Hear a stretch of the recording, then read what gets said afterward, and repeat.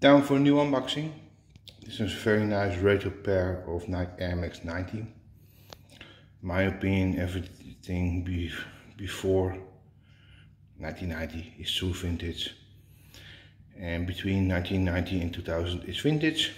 And after that, it's all retro. So, although some people disagree with me, but this is a very nice pair of Nike Air Max 90.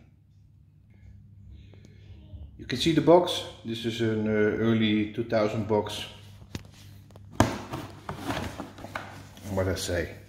Nike Air Max 90 Premium. And when I open the box, maybe uh, this will ring a bell. 2006. Patta homegrown. Cool stickers. And here they are. Nike Air Max 90 Homegrown in great condition. Barely worn, oh, worn so almost dead stock condition. So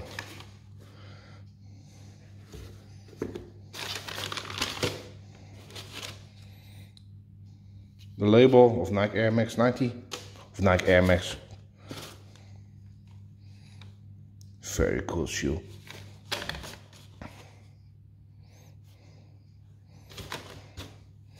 The extra laces with the pin of Air Max 90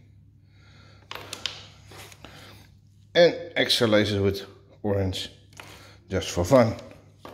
So very nice shoe in great condition and very nice to have this in my collection. I will see you next time